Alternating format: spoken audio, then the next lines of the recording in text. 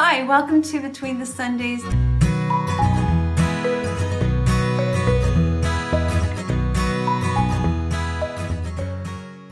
I'm so glad that you came and stopped here. I know that there are a million channels to choose from and I'm thankful that you are just giving me a moment of your time.